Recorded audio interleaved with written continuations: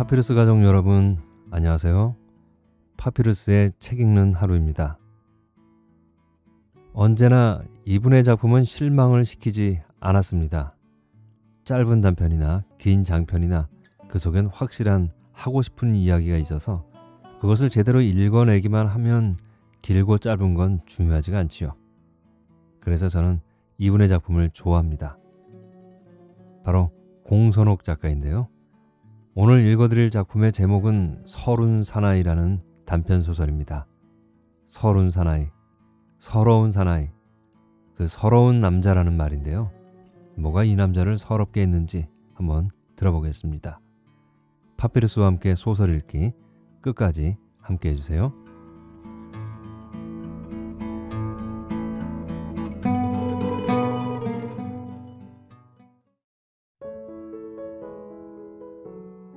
서른 사나이 공선옥 오늘은 미용실이 쉬는 일요일이다. 일요일이라고 해서 특별한 일이 있는 건 아니다. 언젠가부터 일이 없는 일요일에도 일찍 일어나는 습관이 생겼다. 적어도 1년 전 이맘때까지만 해도 없던 증세다. 일이 없는 일요일엔 어디 갈 생각도 않고 하루 종일 미용실에 딸린 살림방에서 잠을 자거나 텔레비전을 보거나 배가 고프면 겨우겨우 라면 한 봉지 끓여 먹고 하루를 넘기고는 했었다. 물론 문을 열지 않는 날이니 안에 있어도 미용실 전면 유리문에 친 블라인드를 올리지 않았다. 아무리 햇빛 찬란한 일요일도 영예의 미용실 안은 깊은 바닷속처럼 어두웠다. 날마다 손님 비위 맞추느라 말이 안 되는 말도 아무렇지 않게 주워 섬기고 사느라 일요일엔 아무도 안 보고 아무 말도 안 하고 싶었다. 그랬는데 지금은 누가 깨우는 사람도 없는데 아침 해가 뜨기 전에 눈을 뜨고 눈 뜨자마자 책을 들여다보게 되었다. 학교 다닐 때도 책만 들었다 하면 잠을 자던 자신이 책을 보다니 가증스러운 건지 감동스러운 건지 알 수는 없지만 하여간 이제 적어도 할 일 없는 일요일이나 잠깐 쉴 잠에 무엇을 해야 할지 몰라 멍하게 텔레비전 보는 일은 없게 되었다. 할 일이 없을 때는 무조건 책을 읽게 된 것이다. 일요일에도 평일과 같이 일어나서 잔잔한 하루를 보내는 게 좋을 것 같아요. 오전에는 밀린 일 하고 오후에는 책을 읽으시면 다음 주가 훨씬 정신적으로도 충만하지 않을까? 뭐 그런 생각이 든단 말이죠. 여느 일요일처럼 하루 종일 자다가 텔레비전을 보다가 또 자느라 빌려준 책을 다 못 읽고 돌려줬을 때 이강호가 한 말이었다. 그리고 그 말을 들은 뒤부터 일요일이 바뀐 것이다. 블라인드 줄을 잡아당기자 기다리고 있었다는 듯 아침 햇살이 미용실 실내에 쏟아져 들어왔다. 내일은 새책 교환 날이다. 그러니 오늘은 이강호가 지난주에 주고 간 책을 다 읽어야 한다. 언젠가 이강호는 말했다. 우리가 배고프면 밥을 먹잖아요. 사람은 육체와 또 무엇으로 이루어져 있나요? 육체와 영혼이죠. 그럼요. 밥만 먹고는 못 살죠. 제 인매에 힘이 좀 들어간다 싶었는데 아니나 다를까 느닷없는 말이 튀어나왔다. 아무래도 이강호의 말에 너무 집중한 탓이었던 것 같았다. 사람은 밥만 먹고는 못 산다는 말을 자주 하는 사람은 미용실 단골 김 여사다. 드라이기로 부풀리고 고데기로 힘을 준 머리를 이쪽 저쪽으로 살피며 김 여사가 말했다. 사람이 밥만 먹고는 못 살아. 가끔 빵도 먹고 국수도 먹어줘야지. 잔뜩 멋을 부린 김 여사는 빵을 먹으러 가는지 국수를 먹으러 가는지 하여간 보름에 한 번 정도 그렇게 특별한 외출을 하기 위해 미용실에 들렀다. 맞아요. 영혼에도 밥을 줘야죠. 그럼 영혼의 밥은 무엇일까요? 음, 음, 크크크.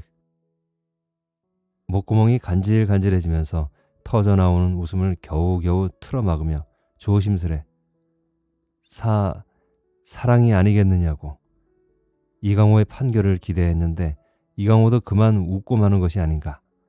그러다가 이강호 또한 급히 입꼬리에 매달린 웃음을 털어내며 사람이 책을 읽지 않으면 영혼을 굶주리게 하는 것이나 마찬가지랍니다.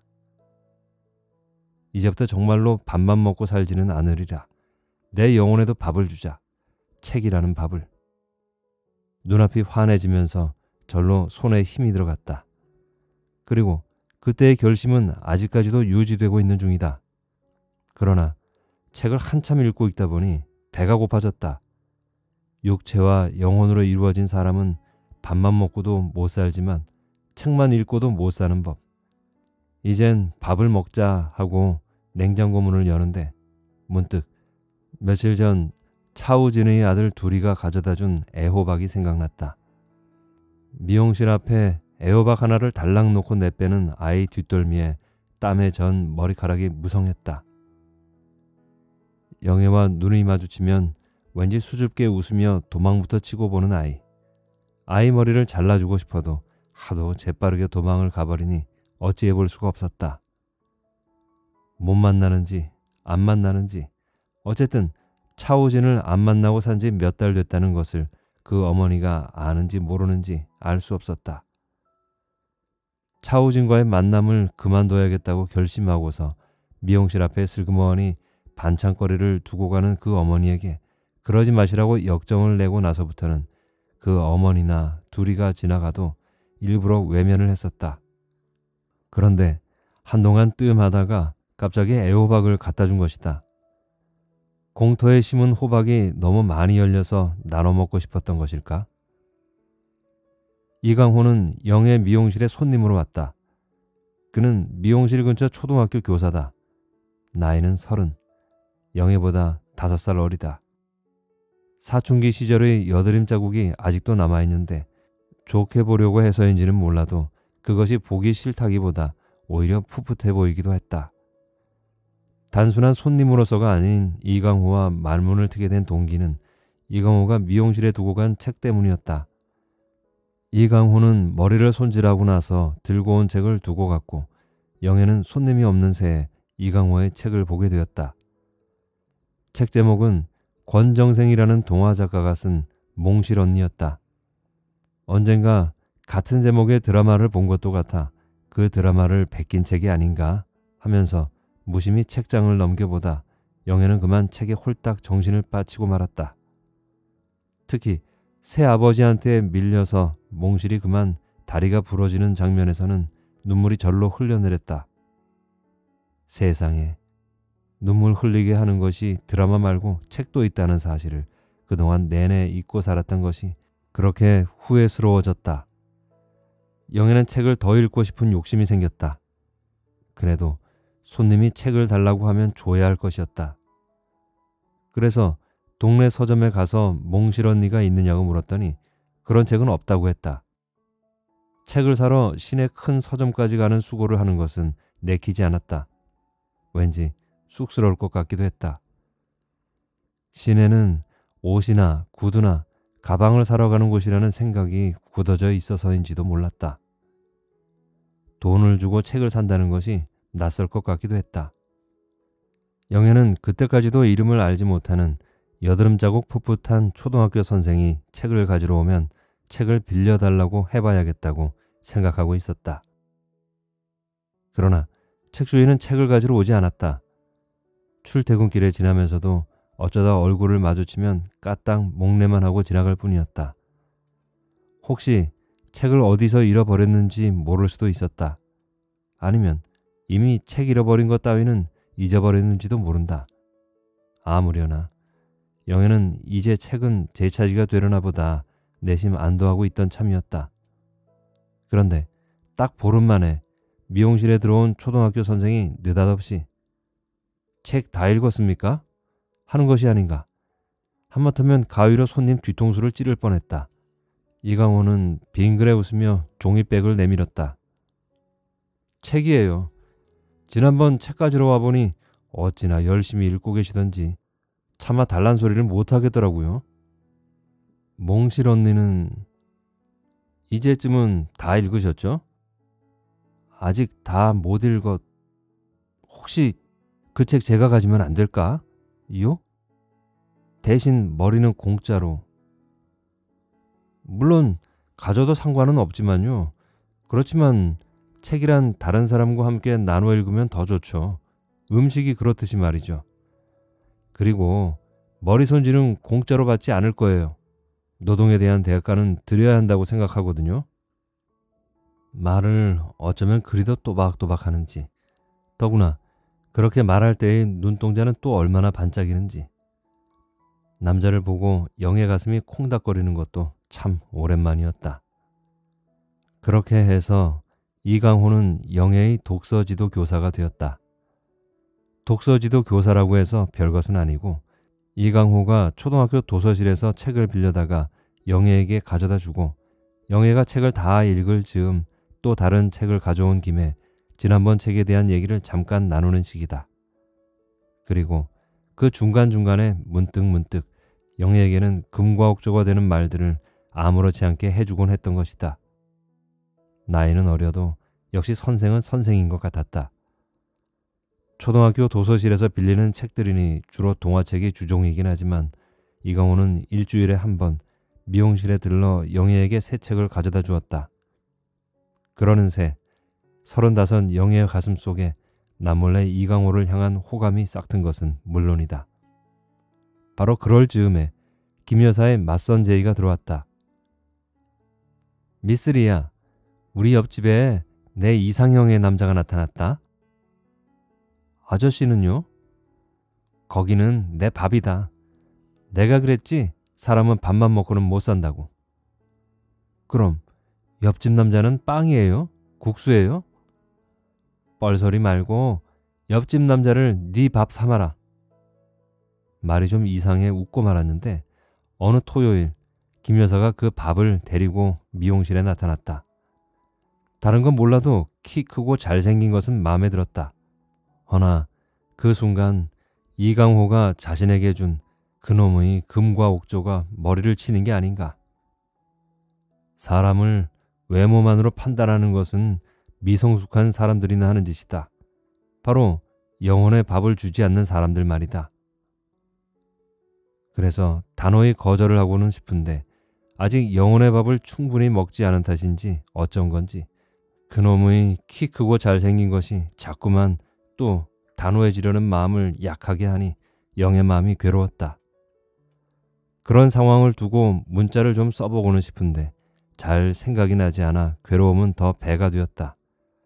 그럴수록 더욱더 영혼의 밥을 먹이는데 애를 쓰는 순간이면 또 그때까지 조용하던 육체가 밥을 달라 아우성쳤다. 육체의 밥과 영혼의 밥을 동시에 퍼넣으며 영애는 곰곰이 생각했다.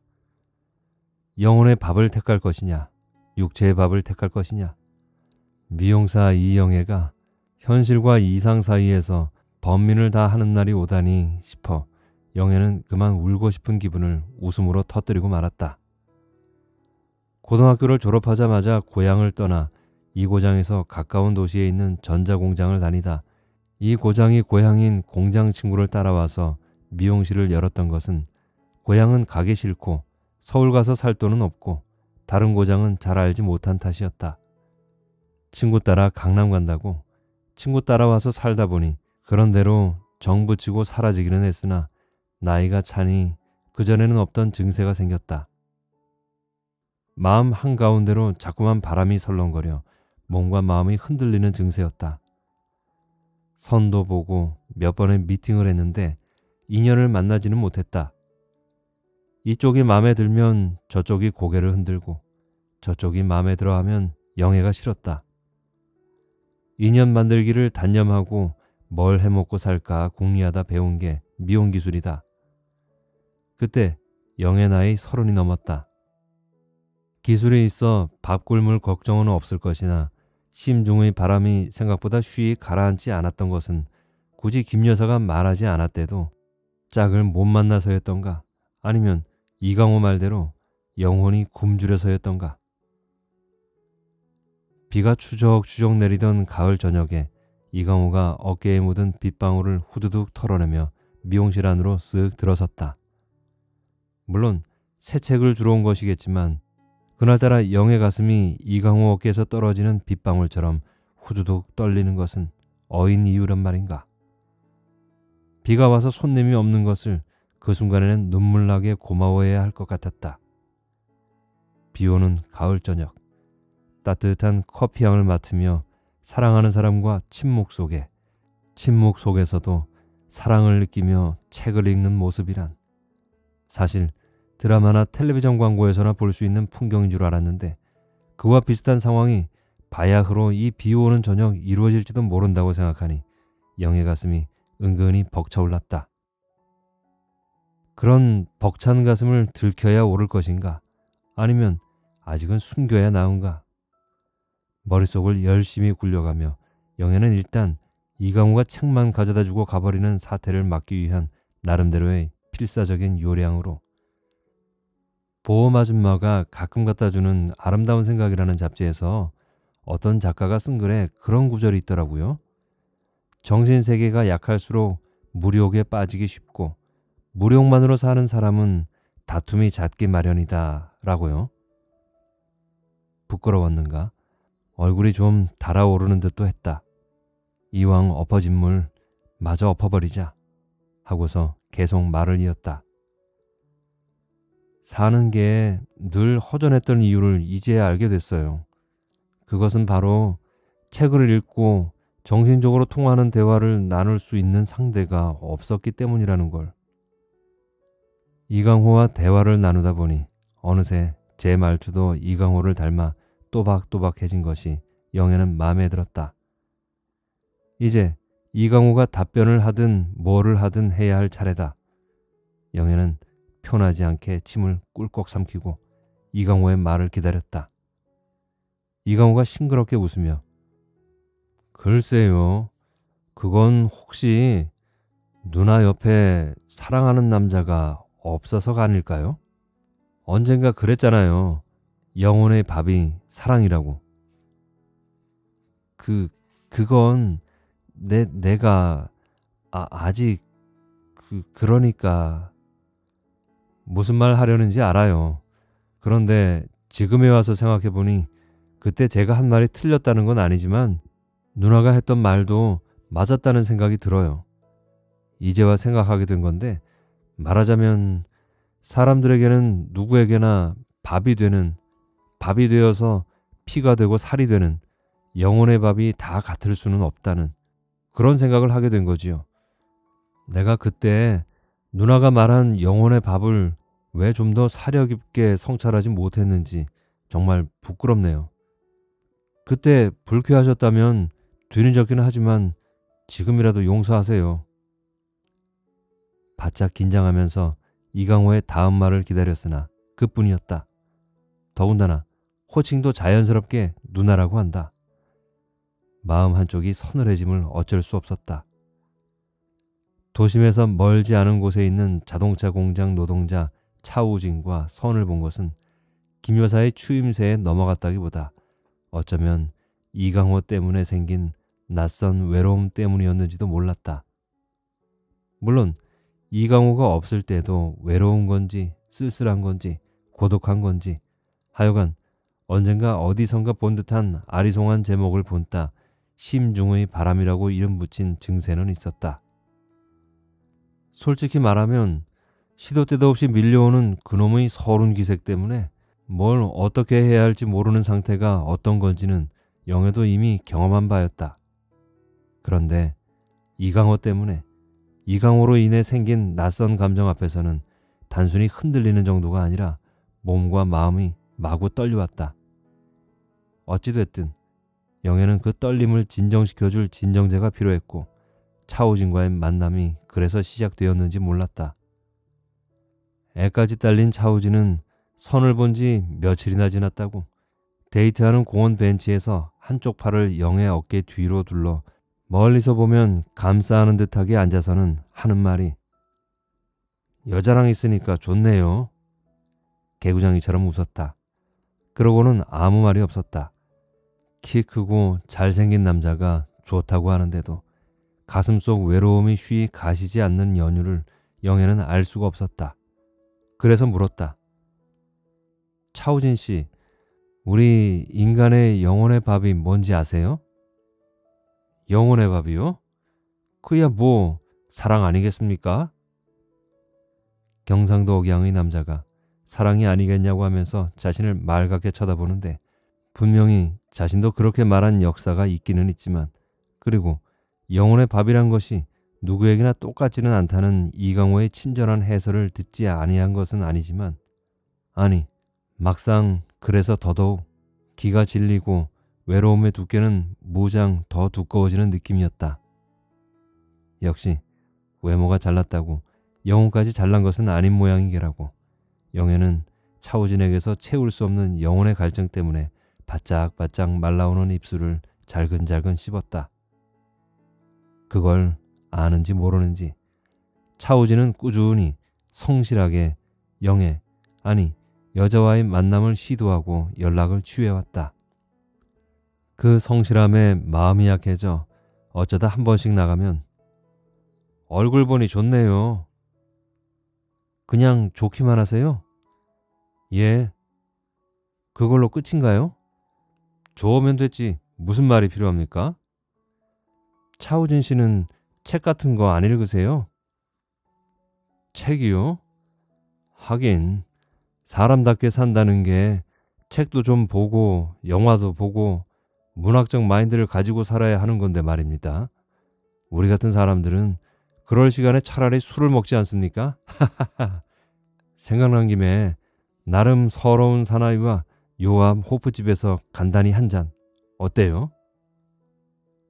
실은 길게 마시고 싶으면서 말은 일단 간단히 한 잔으로 하고 보면서 나름 서러운 사나이가 천진한 눈망울을 제 눈에 부딪혀오면 거절할 도리가 없을 것 같아 그럴수록 더 매정해야 한다고 스스로를 다잡으며 저는 일이 있어서 그만 가봐야겠어요. 쌩 하고 돌아서 왔다가 한식경쯤 지나 살금살금 호프집 문을 열고 살펴보니 나름 서러운 사나이는 문 쪽으로 등을 보이고 벽에 일렁이는 제 그림자를 동무삼아 홀로 외로이 술을 마시고 있던 거였다.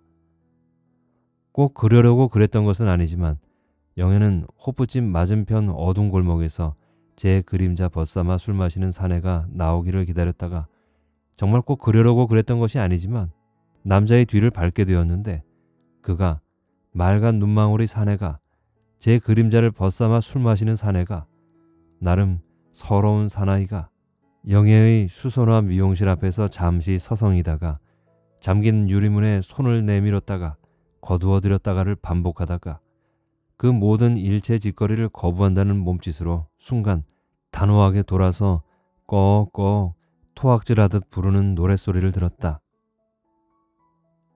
소리 없이 흘러내리는 눈물 같은 이슬비 누가 울어 이 한밤이 던 추억인가 어둠 속에서 그 그림자처럼 밤골목에 길고도 낮게 깔리는 서러운 노랫소리를 지난 겨울 대호 노래를 그럴싸하게 부를 줄 아는 이 사나이와 벤치가 있는 연못가에서 데이트를 했었다.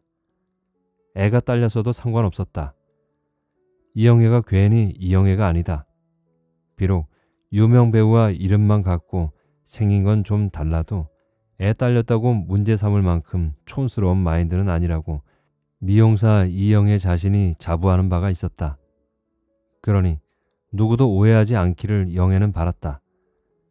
누군가 오해하는 이가 있다 한들 왜 그녀 이영애가 차오진과의 만남에 종지부를 찍었는지를 그러나 이 세상 누구에게 설명할 수 있을 것인가? 좋다고 당신이 좋다고 여자랑 있으니 좋아 죽겠다고 눈가에 무고한 주름을 있는 대로 만들며 진짜 좋아 날뛰는 그것도 서러움에 꽉 찬 한 사나이를 이 세상 누가 그처럼 매몰차게 거부할 수 있단 말인가? 그러나 영애는 그날 낮고도 음울하게 말했던 것이다. 그것도 나름 서러운 사나이가 발치에 굴러다니는 돌을 던져서 물수제비를 뜨는 방심한 순간의 말이다. 이제 우리 그만 만납시다. 차우진이 물수제비 뜨기를 멈추었다. 그리고 영애를 돌아보지 않고 낭패스러운 목소리로 중얼거렸다. 아, 참. 옛날에는 잘 떴는데 지름밥 묵고 삼서 실력이 많이 죽어버렸네. 둘이 어색하게 긴긴 연못가를 휘돌아 차 있는 공터까지 왔다. 이곳에 올 때는 연인 포즈였지만 돌아갈 때는 남남이다. 차에 올라탔는데 시동을 걸지 않는 차우진에게 영애는 마지막으로 한마디 덧붙였다. 남자, 여자로는 그만 만나자고요. 차우진이 시동을 걸었다. 남자, 여자가 남자, 여자로 안 만나면 무슨 재미가 있습니까? 재미없으면 남자, 여자 아닌 것으로도 만나지 말고요. 차우진이 영의 얼굴을 빤히 바라보았다. 선 보고 데이트 몇 번 만에 제대로 바라보는 시선이었다. 이렇게 보니 영애 씨 참 귀한 사람 같네요. 제가 못 알아봐서 미안하긴 한데 아쉬움이 많이 남네요. 운전을 하는 차우진의 표정이 금방이라도 울 것 같았다. 에이씨 하면서 그가 오디오 버튼을 눌렀다. 누가 울어 이 한밤 잊었던 추억인가. 멀리 가버린 내 사랑은 돌아올 길 없는데 피가 맺히게 그 누가 울어 울어 검은 눈을 적시나. 영애는 돌아보지 않았지만 차우진은 울고 있는 것이 틀림없었다. 지난 겨울 내내 그는 울었는지도 몰랐다. 그리고 미용실 앞에 개나리꽃이 활짝 핀 봄날 아침 야간 근무를 마치고 나온 차우진에게서 전화가 왔다. 여자한테 하는 전화는 아니지요? 겁내지 마소. 자장면 한 그릇 같이 묵읍시다. 잘 보이거나 공을 들여야 할 관계가 아니라서인지 사투리 억양도 더 억세졌다. 차우준이 억센 사투리 때문이었을까. 영애도 덩달아 고향 말이 튀어나왔다. 아침부터 뭔 짜장면이다요? 택시 타고 공장 앞으로 후딱 오소. 군더더기 없는 명랑한 목소리로 봐서는 남녀 관계에 대한 미련이 남은 것 같지는 않았다. 더 이상 토달지 않고 나름 쿨한 태도로 달려갔더니 회사 앞에 유일하게 있는 중국 식당으로 들어갔다. 여기 자장면 곱빼기 둘이요. 속으로야 진짜 자장면 먹자고 이 아침에 나를 불러낸 거예요? 하고 싶었으나 그 또한 뻔한 말이라 자장면과 함께 꿀꺽 삼켜버리고 아침부터 짜장면 먹으니까 이상하네요. 이? 했더니 이상합니까? 많이 묵소. 하고는 싱긋 웃기만 할 뿐이었다. 똥단지같이 싱겁게도 봄날 아침 그렇게 자장면을 먹고 헤어진 후 차우진에게서는 일부러 그러는 건지 자연스럽게 그러는지는 알 수 없으되 예의 그 한층 강화된 경상도 억양으로 요새 미용실 매출은 어때요? 묻는 전화를 한 번. 술 묻고 전화하면 추접할까봐 술 안 묻고 전화합니다. 잘 있는겨? 라고 묻는 전화를 한 번 받았다. 라일락 꽃이 한창이던 늦봄 저녁에 미용실에 들른 이강호하고 지난주에 읽은 책에 대해 이야기를 나누고 있는 중인데 불쑥 차우진이 들어섰다.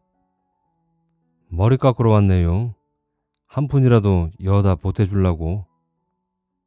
아, 둘이 아버님. 말하자면 이강호는 차우진의 아들 두리의 담임 선생님이었던 것이다. 두리는 2002 월드컵 때 태어난 아이인데 축구선수 차두리처럼 씩씩하라고 마침 자신의 성도 차 씨라 차우진이 똑같은 이름을 지어줬다고 했다. 둘이 엄마는 둘이 아빠를 나름 서러운 사나이로 만들어 놓고 암으로 3년 전에 세상을 떠났다.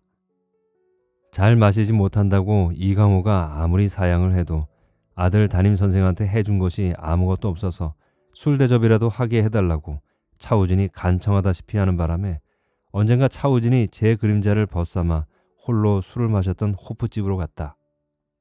차우진이 이강호에게 술을 따르며 묵고 살기 바빠 학교에 한 번 못 찾아가고 죄송합니다.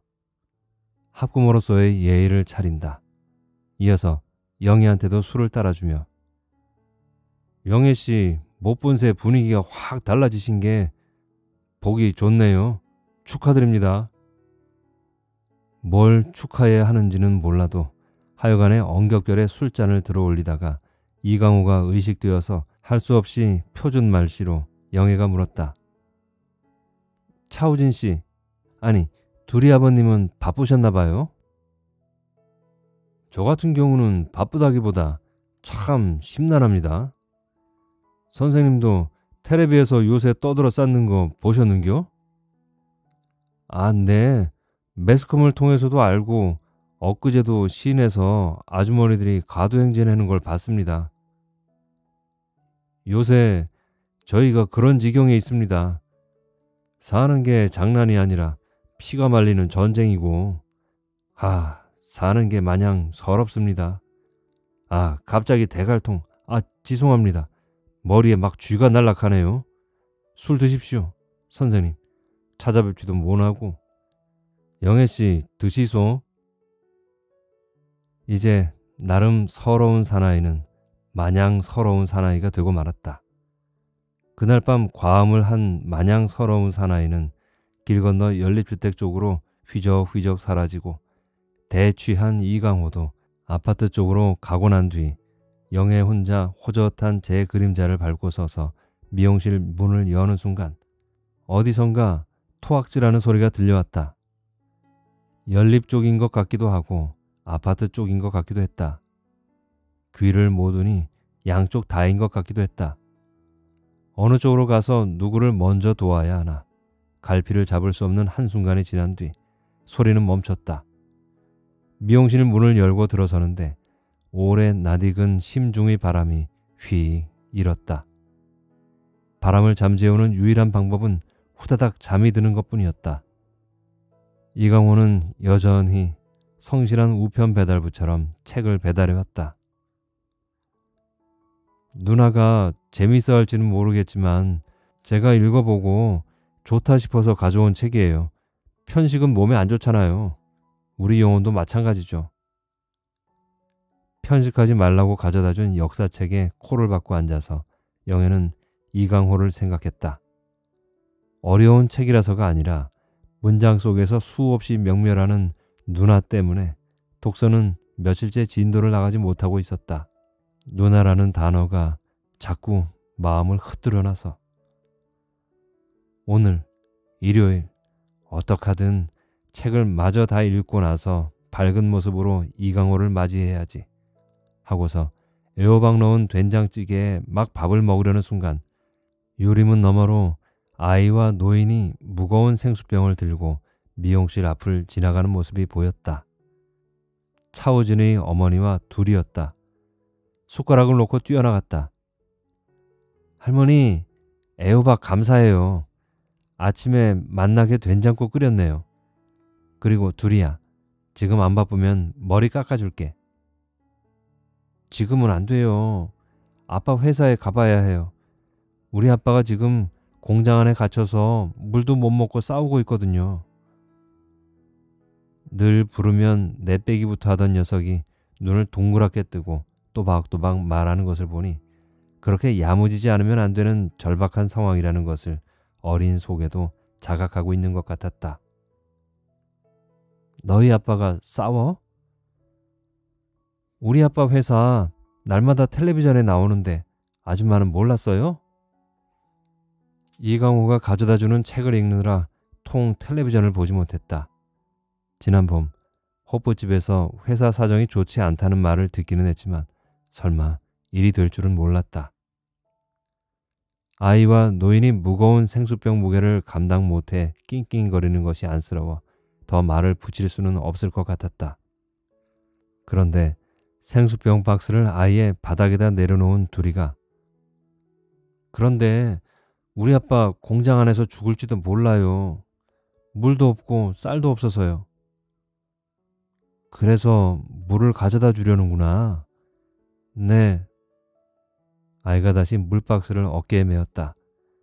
여덟 살짜리 온몸이 휘청했다. 여든 노인과 여덟 살 아이가 총총히 멀어지는데 억장이 무너졌다. 바람 한 점 불지 않는 더위 속에 공장한 대형 스피커에서는 시끄러운 노래소리가 귀청을 찢을 듯이 울려 퍼지고 있었다. 비 내리는 호남선 완행열차에 타다다다 하는 소리와 함께 헬리콥터가 날아와 하얀 물풍선 같은 것을 공장 지붕 위로 떨어뜨렸다. 최루액이 든 봉지라고 했다. 정문 앞에서는 공장 안으로 들어가려는 사람들과 막는 사람들 사이에 고성과 욕설이 오갔다. 해고자 가족 티셔츠를 입은 여자가 외쳤다. 어째 그래요? 당신 우리 애아빠 알잖아요. 어제까지 함께 일하던 동료였잖아요. 굳게 잠긴 쇠철문 너머의 회색 작업복을 입은 남자는 시선을 떨어뜨리고 말이 없었다. 저 안에 사람들 잘못되면 당신들이 책임질 거예요? 당신들도 사측에 이용당하고 있다는 사실을 정말 모른단 말입니까? 한 젊은 남자의 외침에 회색 작업복 남자가 고개를 번쩍 들었다. 맞소. 우린 사측의 개요. 그렇게 말하는 남자의 눈이 붉게 충혈되어 있었다. 피로와 슬픔과 분노가 서리기는 쇠철문 바깥 사람들이나 안 사람들이나 크게 다르지 않았다. 그렇게 하루해가 저물고 있었다. 인간 세상에서 벌어진 아수라를 구경 나온 공장 인근 마을 개들이 동네 양아치들처럼 저물어 오는 벌판을 몰려다녔다. 식사 대용으로 배달되어 온 피자 냄새의 유혹을 견디지 못한 개들이 몰려와 정경들 주변을 배회했다. 아이와 노인은 생수 박스를 지키며 시멘트 바닥에 속수무책으로 앉아 있었다. 공장에 갇힌 사람들을 응원하기 위해 왔다는 젊은 학생들이 시멘트 바닥에 둥그렇게 누웠다. 누군가 자그맣게 노래를 부르기 시작했다. 내 맘에 흐르는 시냇물, 미움의 골짜기로 물살을 가르는 물고기 때 물 위로 차오르는데 냇물은 흐르네 철망을 헤집고 노래는 이내 합창이 되었다. 낮고 조용한 합창. 그리고 잠시 뒤 타다다다다 하는 헬리콥터 소리가 학생들의 노래소리를 덮었다. 영애는 헬리콥터 소리가 멈추면 아이와 노인에게 자장면을 먹으러 가자고 해야겠다고 생각하며 학생들처럼 하루 종일 달구어져서 따뜻한 시멘트 바닥에 몸을 뉘었다. 좀 전에 살펴본 자장면집은 발 디딜 틈이 없었다. 언젠가 아침에 느닷없이 불려나와 먹었던 그 한산한 자장면집이다. 영애는 누워서 이강호를 생각했다. 쓸쓸한 바람 한 줄기가 가슴 한가운데를 스치고 지나갔다. 차오진을 생각했다. 바람은 불지 않는데 찌릿한 통증이 몰려왔다. 차우진이 자기에게 사준 자장면을 이제 그의 아이와 어머니에게 사주고 싶은데 헬리콥터 소리는 멈추지 않았다. 오, 필승 코리아. 오, 오, 오. 노래소리가 붉은 조명등이 반짝이는 밤하늘로 울려 퍼졌다. 왜 저렇게 음악을 크게 트느냐는 영예의 질문에 지나가는 누군가 말했다. 서러운 사람들 더 서럽게 하려고 저 발광을 해대는 거 아닙니까? 문득 공장 안 차오진도 저 소리를 듣고 있는지가 궁금해졌다. 서른 그 사나이에게 전화라도 해볼까? 내가 왜 여태 그 생각을 못했을까? 하고 휴대폰을 꺼냈다. 서른 사나이의 전화기는 꺼져 있었다. 휴대폰을 만지작거리다가 이강호에게 전화를 걸었다. 전화를 받자마자 이강호가 대뜸 물었다. 지난번 제가 편식하지 말라고 드린 영혼의 밥은 다 드셨나요? 아니요, 아직. 저런. 그럼 내일 가져다 드리기로 한 책은 안 가져다 줘도 되겠네요. 저 이강호 씨, 지금 무슨 소리 안 들리세요? 와, 일요일이라고 신나는 데 가신 모양이네요. 노래소리가 장난 아닌데요? 네, 아주 신나네요. 노래소리 빵빵하고 조명등은 휘황하고 헬리콥터까지 떴네요. 재미있게 놀다 오세요. 자장면이 먹고 싶어요. 하하, 자장면이요? 와, 맛있겠네요. 자장면도 맛있게 드세요. 그랬으면 좋겠네요. 재밌게 놀고 맛있게 먹고 그랬으면. 그러세요, 그럼.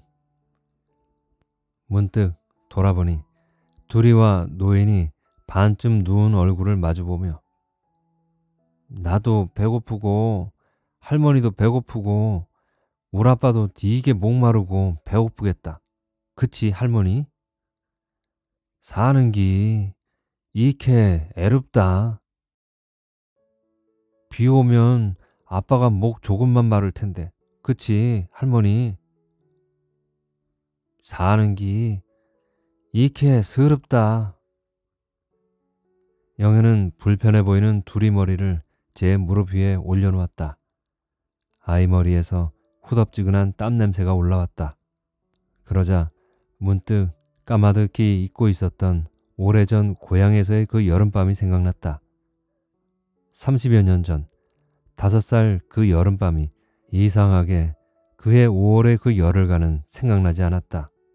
대신 열흘 이후 사라져버린 아버지를 찾으러 천지 사방으로 헤매던 그 여름날 군부대 정문 앞에서 교도소 앞에서 또 어디에서 울부짖던 어머니의 영상이 떠올랐다. 그리고 그런 날의 어느 밤이 어머니 무릎 위에 땀에 전 머리를 뉘고 잠들었던 그 밤도 오늘처럼 하늘에 무심히 달이 떠가고 있었다. 사는 것이 참말로 애롭고 서럽다잉. 애롭고 서러워도 사람만 있으면 된 게.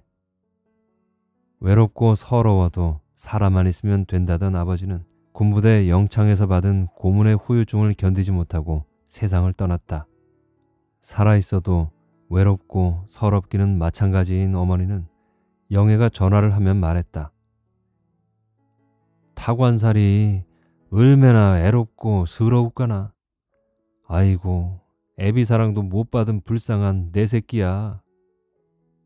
어머니 울음소리 들으면 정말로 외롭고 서러워져서 이제 영애는 전화도 잘 하지 않는다. 그리고 지금 또 외롭고 서러운 사람들이 제 앞에 있다. 외롭고 서러운 사람들은 그때나 지금이나 한 가지로 외롭고 서럽듯이 달 또한 그때나 지금이나 한 가지로 무심히 떠가고 있었다. 하늘이 거울처럼 맑은 것이 내일 또 비는 오지 않을 모양이었다.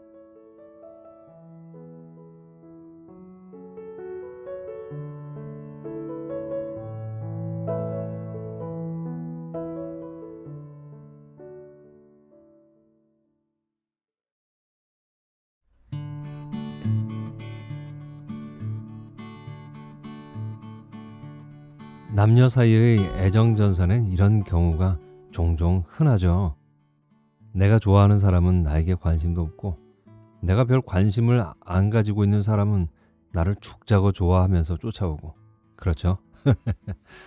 그래서 서로가 서로를 동시에 좋아하게 된다는 건 정말 하늘이 주는 선물이라고 생각을 합니다. 정말 어려운 일이죠. 그런데 사랑을 느끼고 누군가를 사랑하게 되는 것은 어떤 의미일까요?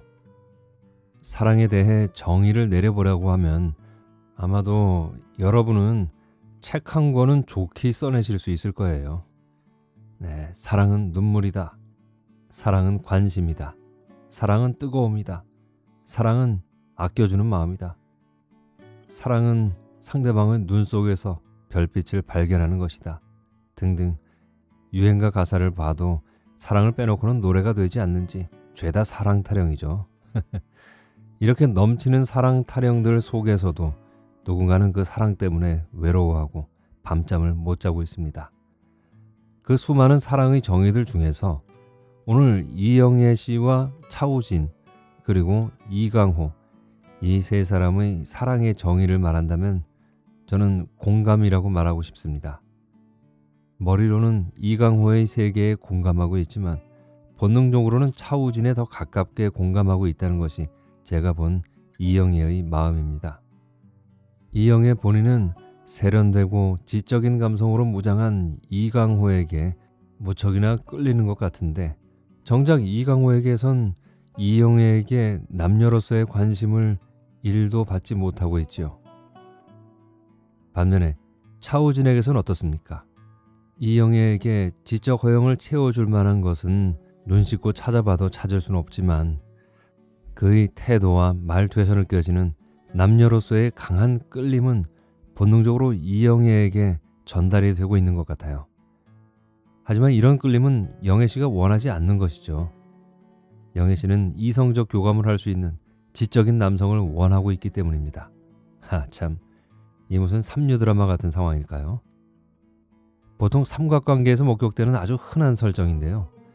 이래서 제 3자 입장에선 삼각관계가 제일 긴장되고 재미있나 봅니다. 먹고 먹기는 먹이사슬 같잖아요. 그런데 시간이 지나면서 영애 씨의 마음이 조금씩 흔들리는 것 같죠? 분명 이성적으로 보면 차우지는 별로인데 본능적으로는 그에게 더 끌리는 것 같아요. 이런 끌림에 아주 중요하게 작용하는 단어가 바로 공감입니다. 초등학교 선생님인 이강호에게서는 느껴지지 않는 공감이 차우진에겐 있었습니다. 영애 씨가 차우진을 서러운 사나이로 느끼는 것은 그에게 어떤 일종의 감정적 공감을 갖고 있기 때문이라고 봐도 좋을 것 같습니다. 그 감정은 막연하게 영애 씨의 속에 자리 잡고 있다가 차우진이 어머니가 내뱉은 말에서 강하게 그녀의 마음을 치는데요. 사는 게 외롭고 사는 게 서럽다는 말은 영애 씨의 어머니가 전에 했던 말하고 같은 것이었죠. 사는 것이 참말로 외롭고 서럽다. 서럽고 외로워도 사람만 있으면 된다던 어머니의 말이 그때 영애 씨에게 떠오르게 된 것은 사랑이 결코 머리로만 해서 되는 게 아니고 마음이 움직여야 되는 것이라는 것을 보여주는 장면이 아닌가 싶습니다. 특히 쐐기를 박는 것이 시위 현장에서 이광호와 통화를 하잖아요. 그때 두 사람의 대화는 물과 기름처럼 전혀 섞이지 못하는 다르게 말하면 전혀 서로를 공감하지 못하는 두 사람을 표현한 것이라고 봅니다. 그래서 공감을 하지 못하면 사랑은 없다라는 것을 작가가 말하고 있는 것이 아닌가 싶습니다. 사실 이 소설은 공선옥 작가가 2009년 8월 쌍용 자동차 공장 앞에서 해고 노동자들과 경찰 사이의 힘겨루게 하는 풍경을 바라보면서 지은 것이라고 합니다. 하지만 굳이 그런 배경에 대한 설명이 없이도 사랑에 대한 이야기만으로도 충분한 작품이라고 생각이 되는군요. 이 소설에서 제가 느낀 공감이란 말은 참 중요합니다. 여러분들께서 제가 읽어드리는 소설 작품에 대해 공감을 못하면 이건 한낱 재미없는 종이 쪽에 불과할 거예요. 하지만 여러분들께서 만약에 공감을 하시게 된다면 그땐 여러분들의 삶을 조금이라도 따뜻하게 만드는 훌륭한 자양분이 될 거라고 저는 믿습니다. 여러분들은 어떻게 생각하시나요? 네, 잘 들어주셔서 감사하고요. 이상 파피루스의 아주 주관적인 감상평이었습니다. 오늘은 공선옥 작가의 단편소설 서른 사나이를 읽어드렸습니다. 끝까지 함께 해주신 파피루스 가족분들께 감사드립니다. 저는 행복한 책 읽기 파피루스의 책 읽는 하루였습니다. 오늘도 수고 많으셨고요. 다음에 뵐 때까지 편안하고 행복하게 보내세요. 다음에 또 봬요.